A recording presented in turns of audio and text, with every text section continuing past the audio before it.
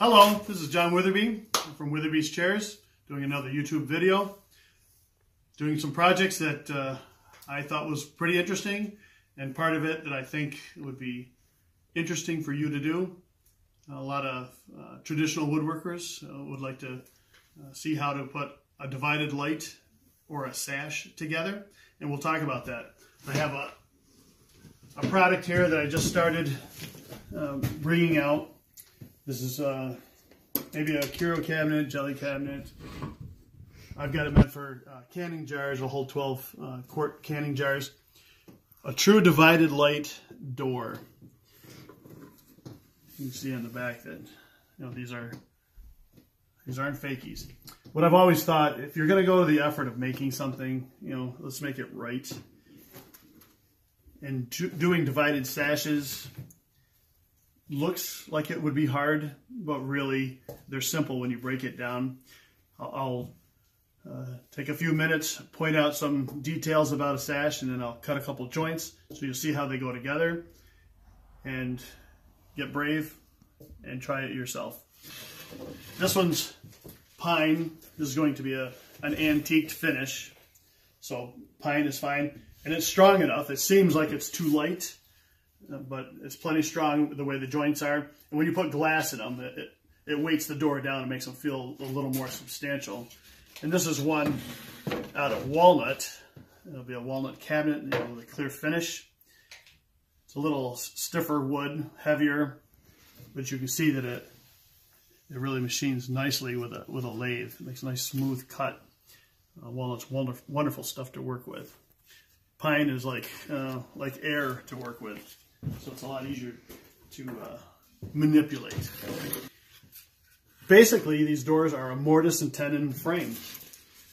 The tenons go right through the the rail and they're wedged. And surprisingly, you can do these without any glue whatsoever. I don't glue any of the mullions because they're all held. They can't go anywhere.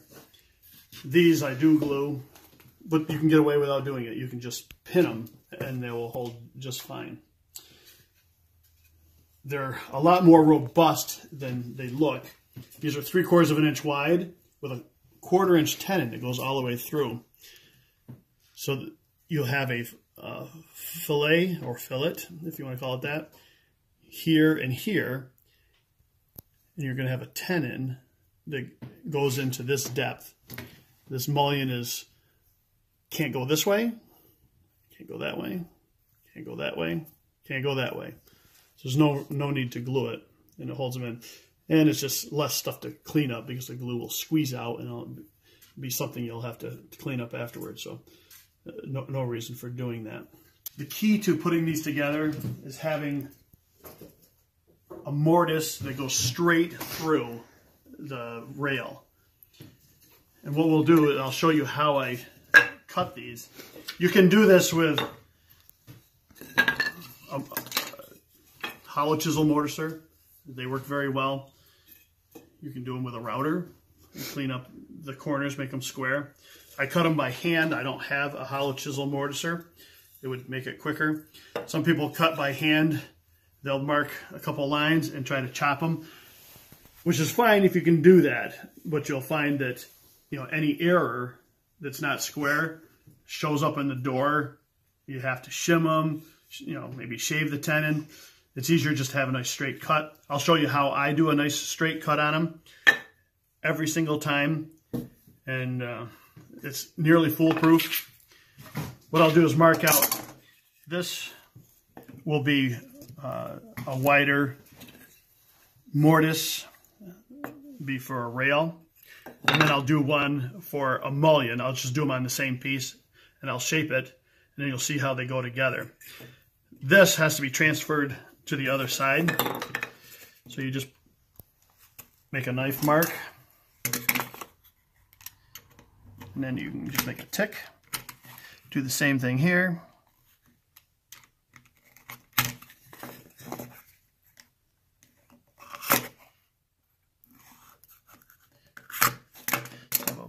Bush up the edge there, but don't worry about that.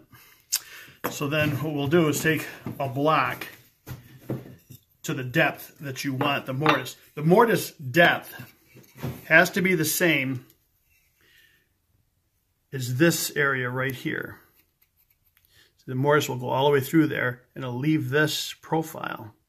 So that, but you have to do these cuts first, trying to chop that mortise after you do this. Be very easy to, you know, booger up those corners. It's unstable. Cut them first. That's the, the secret to doing these. This is a quarter inch mortise chisel. It's going to depend on how big you make your sashes. If your sashes are going to be, have this area 3 eighths of an inch, half an inch, these are tiny. This is for a three quarter inch door. So it leaves just, just enough room for glass. You, you can't even uh, put uh, pins in it. I just use a few dabs of silicone to hold the glass in. If you're doing a, a window sash, you know, those would be wider, know, one and three eighths. You would have a three eighths or half inch wide mortise. Leaves plenty of depth uh, to uh, put glass and glaze them. You can start right in the middle.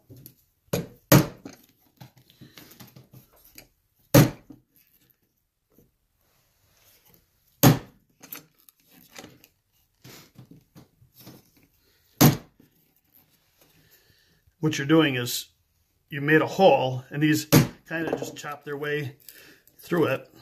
Just pry out the, the pieces.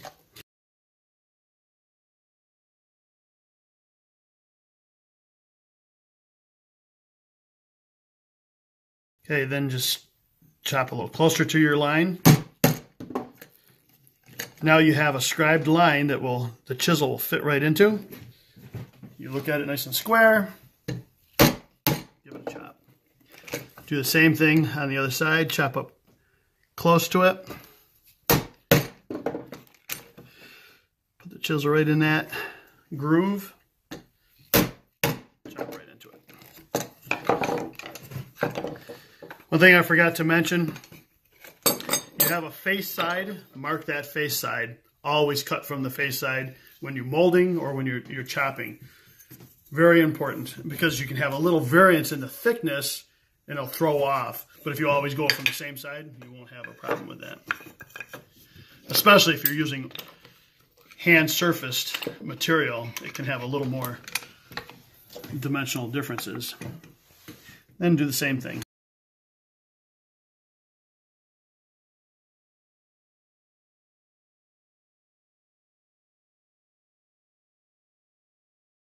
Feel it pop through. I just put a hole on on my bench.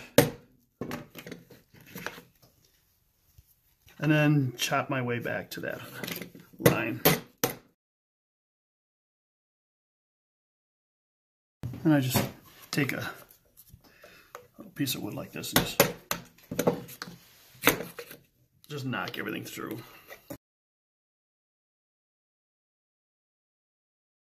And then this guy would be for a mullion. They only have to be about a quarter inch deep. Chop one direction and the other. Pop that right out of there.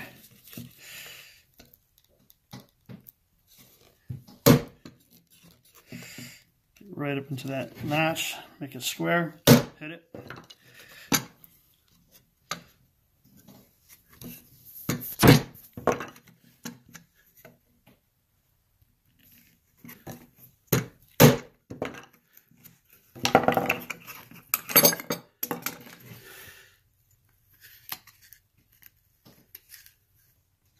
Plenty deep enough.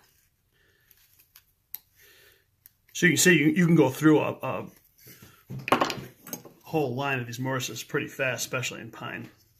So then you can mold it. The first thing you do before you lay these out, see which way the grain, you can see how the grain runs. Pine can sometimes fool you. It can be hard to see, especially this is oxidized on the outside you want rising grain. So you're cutting, it's like a cat. It's only happy if you pet it one direction. So you get that marked, you have to do it all the way around your pieces that you're going to mold. So what we'll do is mold that guy real quick. This is a sash plane. This is a homemade one because it's hard to find them that are tiny like this. It's one I made, I just used O1 uh, tool steel. It seems to cut pretty well. Oops. That, that fooled me. You see how the it's tearing?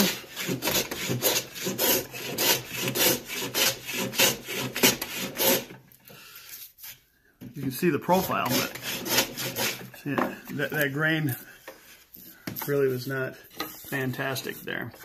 We can take just a thin shaving off. Obviously, I couldn't use this on a, on a door. It'd be too torn up, but you can see the profile.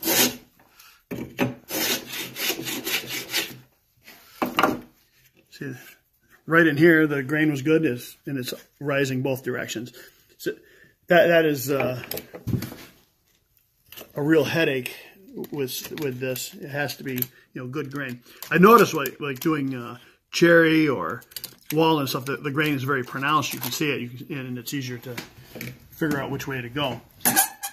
Now what we need to do is get the other side of that. This will be the tenon that goes in. It has to be profiled to match that. I'm going to go an inch and a quarter deep on this particular profile. It's going to vary according to you know, whatever cutter you have. Then what we'll do is just... You're asking, why am I doing that? We'll see in just a minute. Now we'll cut the tenon. Now you, of course, you can do this with a table saw if if you want to, a router table. On the one side, you can run your blade just a little bit more.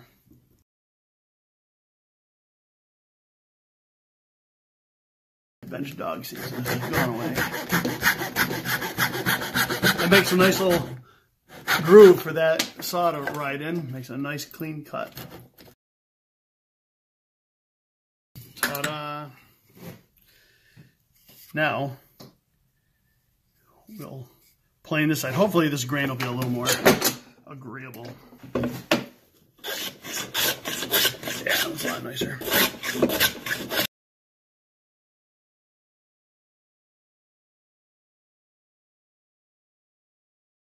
See how clean that cut is? When the grain's going the right way, nothing will match a, a molding plane for a nice clean cut. Because you can have a rotary cutter like a router or shaper, there will be some ripple to it, even though it's faint. These are incredibly smooth cutting. Now here's the problem if this is a oh a T coming in, say you have a big divided light have to flip this over. See, now the grain's going to go the other direction.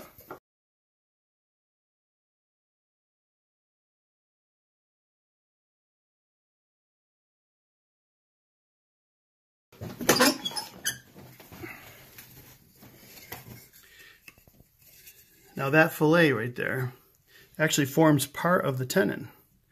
That's why you make your mortise the same width.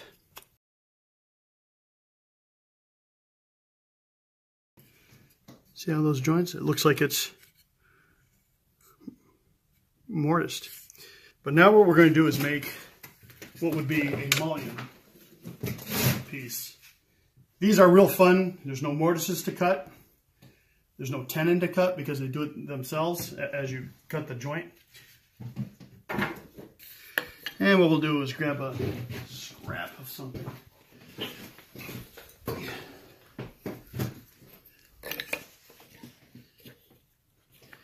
And the key to making that joint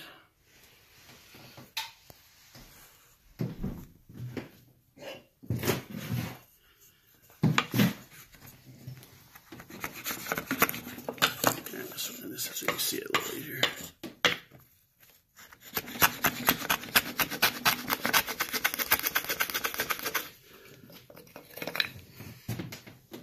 So that's a cope joint right there.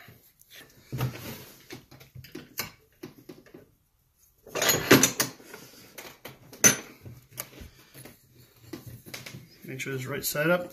Hopefully this grain will be okay. It looks like it's rising this way, so we want to plane this way. On this guy, we want to do the bottom first. It sets in this groove. And we'll use a tongue cutter. You don't have to do it this way. You could do it with just a sash plane, lay it on one side, cut it, flip it over, and you'd have to have a shape cut out and do the other side.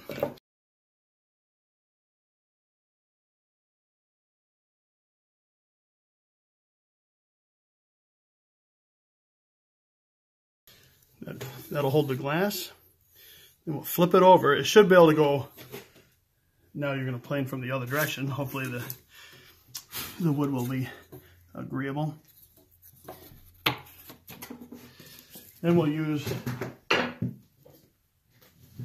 this guy, cuts both ends of the mullion. You can see it's both halves.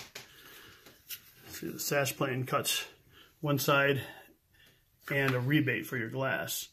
You could do it like that, flip it over like that.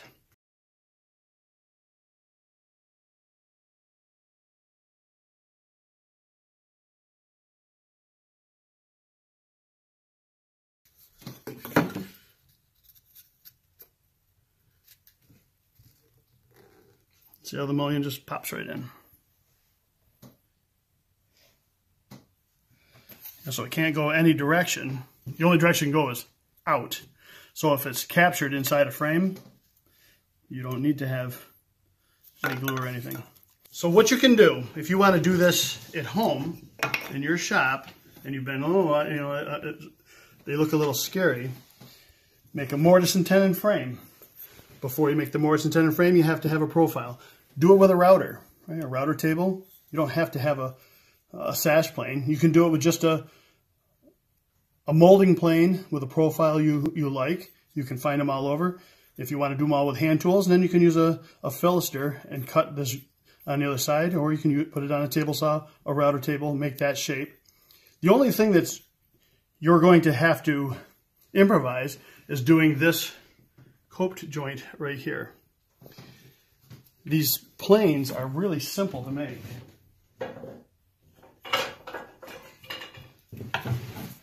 See, they're not cutting very much, just a little bit. So what you can do is make the profile and then 45 one end.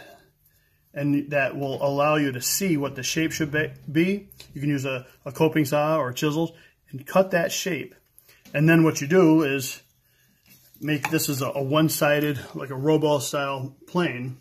You just need to make this edge and then this line right here will stop it, right? From, it'll be your depth stop. And they're only quarter inch thick generally. I mean, 5 sixteenths, 3 eighths would be, uh, you know, on the outside. Make the shape to cut that. And you can sit on the tenon, cut them with these, I, you have to have something for it to sit on because you don't have a tenon. You know, these heights are all going to be different. You know, it depends on uh, what profiles you have. That allows you to cut them. And just make this guy a little bit on the big side to start. Cut a few, see how, if you put it in and it's too sloppy, these are easy to trim down a little bit and you can regrind the, the blade until you can either be spot on if you're using a, a hard type of wood, or if you're using pine or mahogany or walnut, they have a little bit of give to them. A little on the tight side is when you push it together, it'll make a nice tight, I mean, you can have too much of a good thing, but it makes a nice looking joint. And they're incredibly durable. They, they look, you know, very delicate, but they're very stiff. You know, they're very strong uh, units. And it just it will step up your work to have a, a nice divided light sash or frame. And it's a, you know, and that's something coming out of Kmart or Walmart. I hope you enjoyed it as much as I enjoyed making it. And uh, give it a shot. See what you think. Leave me some comments.